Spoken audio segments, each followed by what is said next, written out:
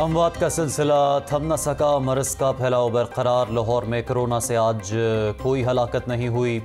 शहर में 24 घंटों के दौरान पचासी मरीज़ रिपोर्ट सूबे भर में कोरोना से पाँच मरीज़ इंतकाल कर गए और ब्रॉयलर की कीमत में कमी का रुझान बरकरार मुर्गी का गोश्त मजीद तेरह रुपए फ़ी किलो सस्ता हो गया कीमत दो सौ साठ रुपए हो गई तीन दिनों में मुर्गी का गोश्त उनतालीस रुपए किलो सस्ता हुआ सब्ज मसाला जात की कीमत में इजाफा जारी। सरकारी रेट लिस्ट में 12 सब्ज़ियाँ मजीद महँगी हो गईं। प्याज पचपन, टमाटर पचासी, लहसुन 230 अदरक पाँच सौ अस्सी रुपए किलो फरोख्त।